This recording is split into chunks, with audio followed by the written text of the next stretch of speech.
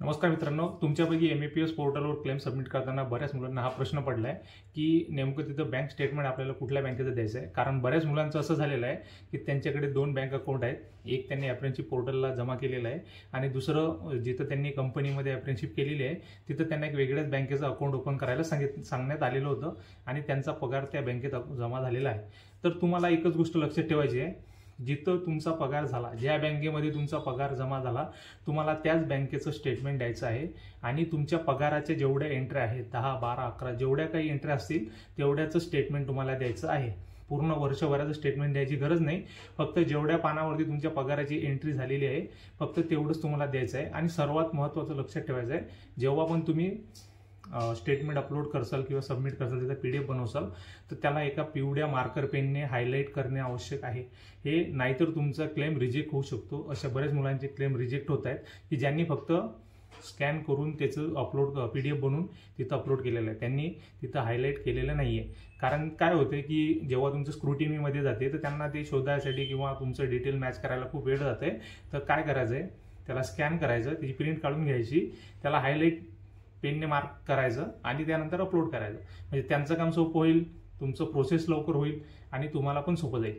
आणि यामध्ये बऱ्याच मुलांना असा प्रॉब्लेम आहे की ज्यांच्याकडे बँक अकाउंट त्यांचे सुरू नाही आहेत किंवा त्यांना स्टेटमेंट काढायला त्रास होत आहे. स्टेटमेंट काढायचा सर्वात सोपा मार्ग कसा असते की कुठल्याही बँकेचं एक ऑनलाईन ॲप असते त्या ॲपमध्ये जाऊन आपण तिथून स्टेटमेंट काढू शकतो. पण ते स्टेटमेंट आपल्याला किंवा महिना संपल्यानंतर आपल्या मेल आय डीवर एक स्टेटमेंट येते बँकेतर्फे.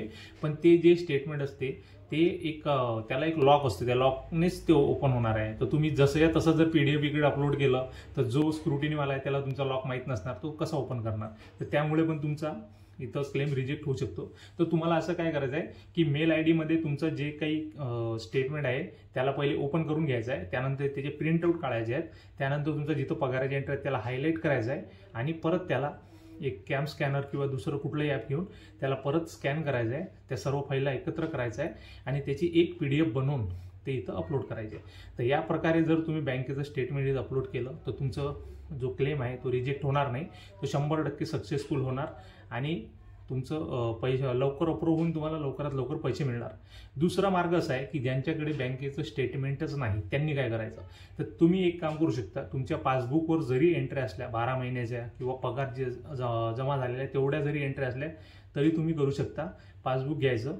त्याचं फ्रंट पेज जिथं तुमचं नाव असेल तुमचा अकाउंट नंबर असेल त्याला हायलाईट करायचं. त्यानंतर जिथं जिथं पगाराचे एंट्री आहेत तिथं तिथं हायलाईट करायचं आणि त्याला स्कॅन करून त्याचा तुम्ही पी डी एफ बनवू शकता आणि तो इथं अपलोड करू शकता. तर सेमच आहे बँक स्टेटमेंट म्हणजे काय? की तुमचे एंट्र्या झालेल्या फक्त तिथं त्यांना पाहिजेत. तर तुम्ही ते पासबुक पण देऊ शकता तुमचं स्टेटमेंट पण देऊ शकता. पण देताना तुम्हाला पी डी एफ फॉर्मॅटमध्ये द्यायचं आहे त्याला हायलाईट करायचं आहे आणि त्या पी डी एफला नाव द्यायचं आहे की बँक स्टेटमेंट. तसंच तुम्ही डोमिसाईल देसाल तर त्यावरती पी डी एफला नाव डोमिसाईल द्यायचं आहे आणि अप्रेंशिप सर्टिफिकेट जे देताल त्याला पी डी एफला नाव ॲप्रेनशिप सर्टिफिकेटचं नाव पण द्यायचं आहे आणि वन एम बीच्या आतमधली ती फाईल असायला पाहिजे. असे तीन दोन तीन नियम आहेत त्याचे.